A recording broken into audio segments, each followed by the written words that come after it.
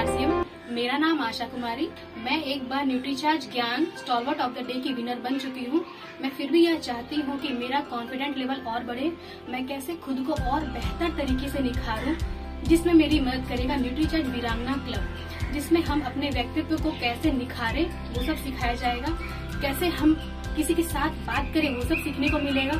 और साथ ही साथ हम कैसे प्रोफेशनल बने, वो भी सीखने को मिलेगा। तो इसमें शामिल होने के लिए हमें रजिस्ट्रेशन करना होगा और ये वर्कशॉप होने वाली है पाँच मई को, जिसमें रजिस्ट्रेशन करके हम लोग इसमें शामिल हो सकते हैं।